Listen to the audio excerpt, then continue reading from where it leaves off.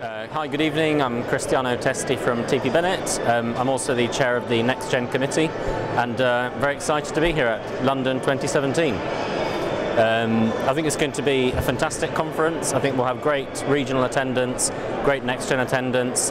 It's the most fully booked conference to date.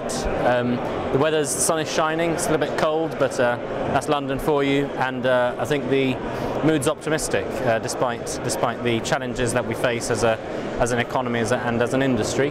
Um, forecast for the conference, um, I think it's, it's going to be great, and uh, I will just say watch out for a next gen announcement on um, at the beginning of Ken's speech uh, tomorrow morning. So uh, that's it from me. Over and out. Thank you.